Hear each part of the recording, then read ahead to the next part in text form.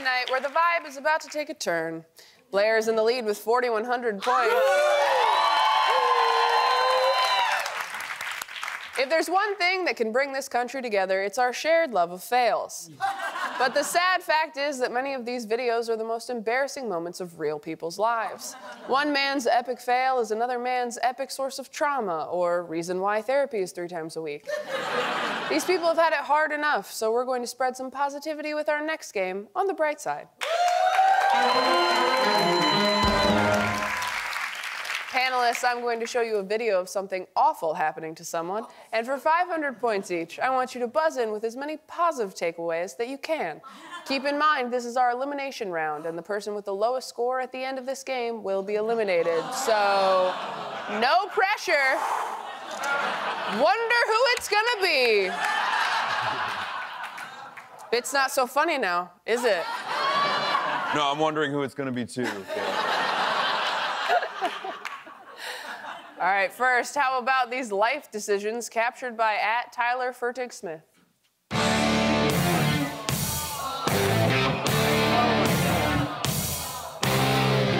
Oh!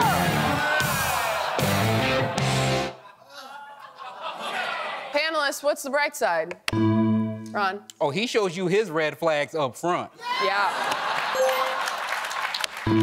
Blair. He's great with commitment. Yes.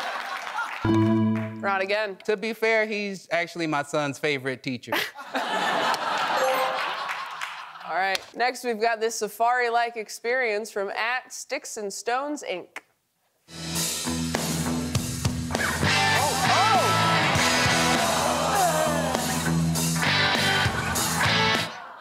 oh my God. Is that even a fail? That was just awesome. Yeah. What's the positive takeaway here? Adam. Good breaks? Yeah. Good job. That's great. Oh my God. Fast. They're shooting a sequel to Jumanji. Oh Ron my- again. What? Uh, that last deer really raised his NFL draft stock. Blair. At least Bambi's mom survived this one.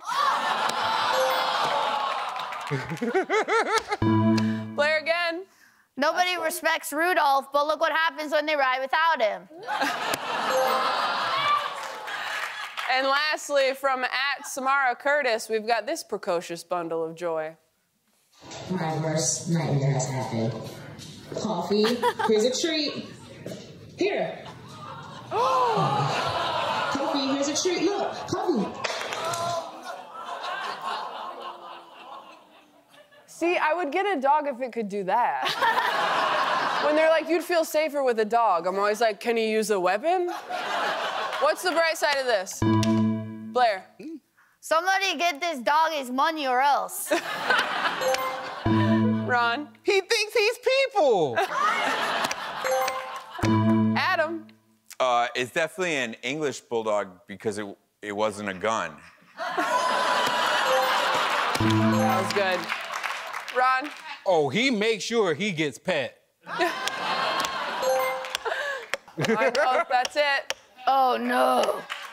Ron is in the lead with 7,800 points. Blair is in second with 7,100, and Adam is in third with 1,200.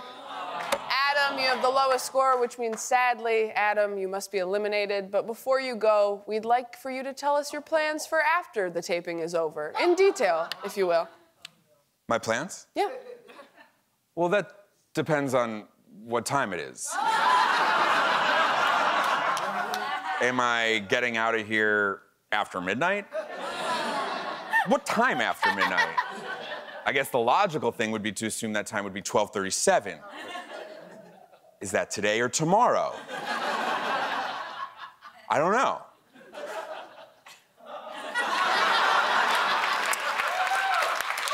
Thank you so much, Adam. Take care. We've come to the final act of our show, which means it's for the win.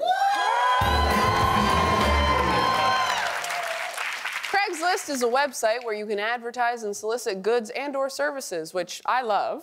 But sometimes there are weird posts like this one. Hey, I'm looking for baby or young snakes like boa and python and king snake and more. Wow, that sounds wholesome and not psychotic at all. Panelists for the win, I want you to write me an unhinged Craigslist ad. After the break, we'll hear your answers, and our studio audience will pick a winner. We'll be right back.